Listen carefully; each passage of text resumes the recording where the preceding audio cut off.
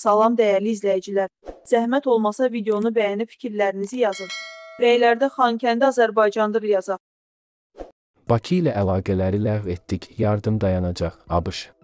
Bütün təmaslarda Azərbaycana Ermənistan daxilində güc tətbiqinin tamamilə qəbul edilməz olacağı barədə aydın siqnallar vermişik. Axaraz xəbər verir ki, bu sözləri ABŞ dövlət katibinin Avropa və Avrasiya məsələləri üzrə köməkçisi James O'Brien konqresdə keçirilən dinləmələr zamanı nümayəndələr palatasının Avropa məsələləri üzrə beynəlxalq əlaqələr alt komitəsinin sədri Tomkinin sualına cavab olaraq deyib. Azərbaycan rəhbərliyi bizi əmin etdi ki, onların belə bir niyyəti yoxdur. Biz qoşunların hərəkətini və bu cür proqramların mövcudluğunu göstərə biləcək hər hansı siqnalları çox diqqətlə izləyirik. Və dediyim kimi, biz dedik ki, sülh danışıqları uğur qazanmayana qədər münasibətlərimizin normal olması şansı yoxdur. Attığımız addımlara gəlincə, bunlardan biri odur ki, biz bir çox yüksək səviyyəli əlaqələri ləğv etmişik və bizə Azərbaycanı dəstəkləmək imkanı verən 907 saylı qətnamədən yayınma təşəbbüsü ilə çıxış etmək fikrində deyilik. Biz onu da qeyd etdik ki, tranzit dəhlizinin tikintisinin mümkünlüyü birbaşa sülh sazişinin bağlanmasından asılıdır. O'Brien qeyd edib ki, Dövlət Departamenti Qarabağdan didərgin düşmüş insanlarla şəxsi söhbətlər vasitəsilə Dağlıq Qarabağda baş verənlərin üzə çıxarılması səylərini dəstəkləyir. Lakin həmin söhbətlərdən hansı nəticələrin əldə edildiyini açıqlamaq istəmir. O'Brien qeyd edib ki, ABŞ 19 sentyabr hadisələrindən sonra sülh yolunda irəliləyiş müşahidə olunmayınca Azərbaycan üçün hər şeyin normal olmayacağını açıq şəkildə bəyan edib. Bəşər Əsəd, biz Ermənistanı dəstəkləyirik. Biz problemlərin aradan qaldırılmasında Ermənistanı dəstəkləyirik. Türküstanaz erməni mediasına istinadən xəbər verir ki, bu sözləri Suriya prezidenti Bəşər Əsəd Ermənistan Milli Assambleyasının vitse-spikeri Hakob Arşakyanla görüşündə deyib. O daha sonra vurğulayıb, Suriya erməniləri öz dövlətinin, cəmiyyətinin və dəyərlər sisteminin bir hissəsi hesab edir. Bəşər Əsəd iki ölkə arasında hər zaman yüksək səviyyədə olan əməkdaşlığın inkişafında əsas rol oynayan parlamentlərarası əməkdaşlığın əhəmiyyətini vurğulayıb. Səmimi və mehribanlıq şəraitində keçən görüşün sonunda həm söhbətlər erməni və Suriya xalqlarına sülh və firavanlıq arzulayıblar. İclasda deputatlar Rustam Bakoyan, Şirak Torosyan və Aren Qırçyan iştirak ediblər. Danışıqlar niyə dayandırıldı? Qrigoryandan açıqlama Ermənistan və Azərbaycan baş nazirlərinin müavinləri səviyyəsində demarkasiya və delimitasiya komissiyalarının nümayəndələri iyulun 12-sində sonuncu dəfə görüşüblər. Yeni Sabahaz xəbər verir ki, bunu jurnalistlərlə söhbətində Ermənistan baş nazirinin müavini Mger Qrigoryan deyib. Görüşlərin niyə dayandırıldığı barədə sualı cavablandıran Qrigoryan qeyd edib. Son iclasda qərar alındı ki, prosessual məsələlər müzakirə olunur. Hesab edirəm ki, ilk növbədə əməkdaşlığın formatı və forması razılaşdırılmalı, tənzimlənməlidir. Sonra görüşlər olacaq. Sülh müqaviləsinin ilin sonuna qədər bağlanıb bağlanmayacağı ilə bağlı da sualı cavablandıran baş nazirin müavini dəqiq tarix deyə bilməyəcəyini söyləyib. Qarabağdakı rus sülh məramlılar dəyişdirilməlidir. ABŞ Rusiyanın Qarabağdakı sülh məramlıları dəyişdirilməlidir.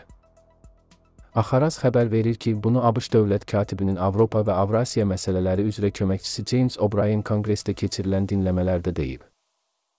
O'Brien qeyd edib ki, ABŞ Rusiya sülh məramlılarına alternativ təklif etməyə hazırdır. Ən yaxşı variant hər iki ölkəyə alternativ verməkdir. Bizimlə və Qərblə işləmək. Vaşinqton niyə erməniləri Qarabağa qaytarmaq istəyir? Azərbaycan-Ermənistan sülh prosesi üzrə növbəti Vaşinqton görüşü baş tuta bilər. Qeyd edək ki, Ermənistanın Təhlükəsizlik Şurasının katibi Armen Qriqonyan ölkənin ictimai televiziyasına müsahibəsində bildirib ki, yaxın zamanda Azərbaycan və Ermənistan Xarici İşlər Naziri rəhbərləri arasında Vaşinqtonda sülh müqaviləsi üzrə növbəti görüş keçirilə bilər. Bununla yanaşı, ABŞ Dövlət Departamentinin mətbuat katibi Matthew Miller noyabrın 14-ündə keçirilən brifinqdə Qarabağ ermənilərinin hüquqları ilə bağlı məsələyə toxunub. O qeyd edib ki, Qarabağı tərk etmiş ermənilər qayıtmaq hüququna malikdirlər. Biz Qarabağı tərk etmiş insanların istədikləri təqdirdə vətənə qayıtmaq hüququna malik olduğuna inanmağa davam edirik və bu hüquqa hörmət edilməlidir, deyə Miller bildirib.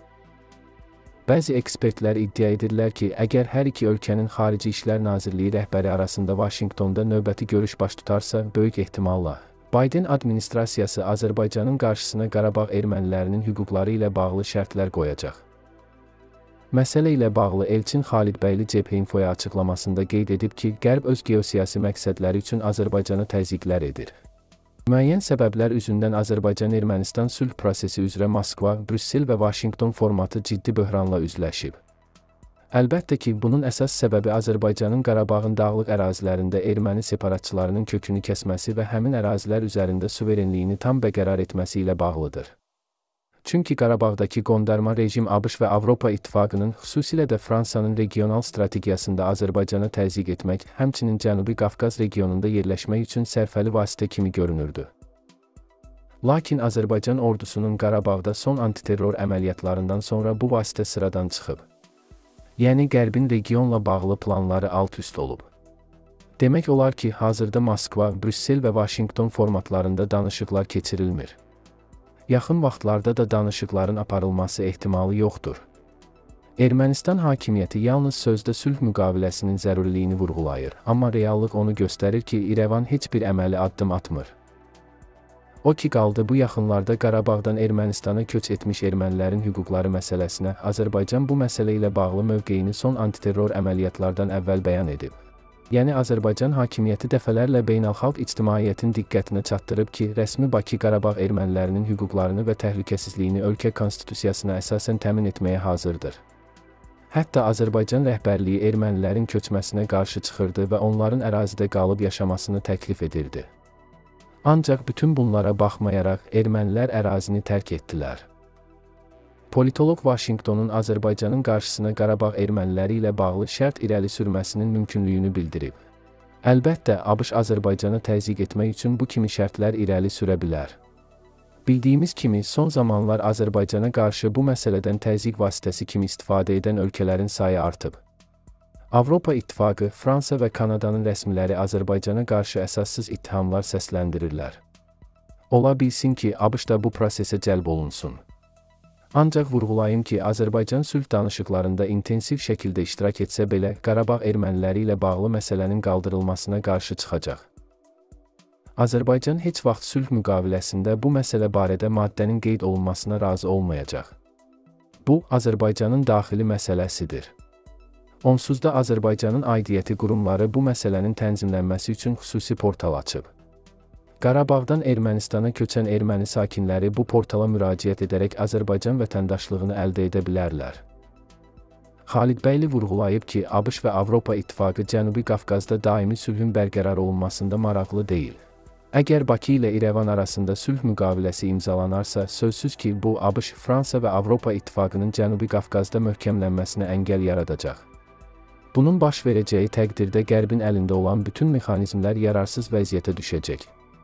Ona görə də Qərb sülh prosesinin pozulmasında və regionda vəziyyətin gərginləşməsində, hətta münaqişənin yenidən alovlanmasında birbaşa maraqlıdır. Yəni onlar hesab edirdilər ki, Azərbaycanla yeni silahlı toqquşmalar onların Ermənistanın ərazisinə hərbi kontingent yerləşdirməsinə şərait yaradacaqdı.